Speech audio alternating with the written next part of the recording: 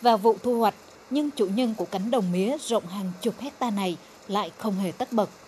Bởi công đoạn quan trọng nhất là thu hoạch mía, đã có máy móc hiện đại làm thay. Không chỉ được mùa mà giá mía còn tăng cao hơn 1 triệu đồng một tấn, nên hàng ngàn hộ đồng bào ở vùng trọng điểm trồng mía Đông Gia Lai rất phấn khởi. Ông Đinh Hờ Lơ cầm chắc khoản lợi nhuận 250 triệu đồng từ diện tích 5 hecta mía. Mưa thuần gió hòa, năm nay thì, thì à, cái mía phát triển rất là tốt. Giá cả thì nói chung ờ, rất nhà máy mua rất là cao.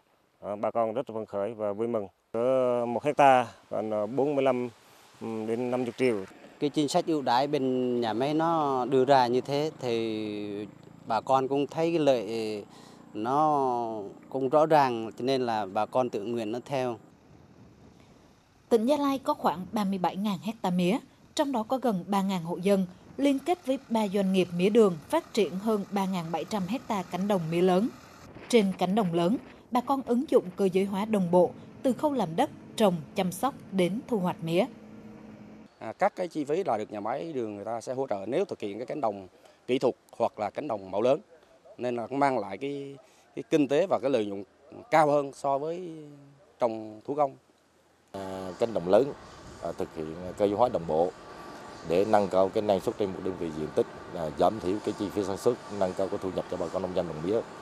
Thì nhà máy cũng đã ờ, đầu tư và phát triển phục hồi lại diện tích trồng tơ là được ờ, 70%. Thì với cái đà này thì cái tổng diện tích mía của ờ, nhà máy vụ thu hoạch 23 24 thì được là trên 28.000 hecta.